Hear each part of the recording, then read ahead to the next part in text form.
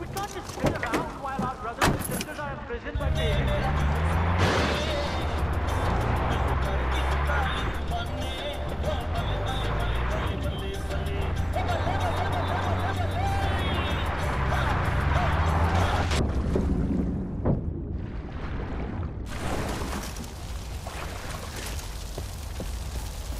Ah, ah.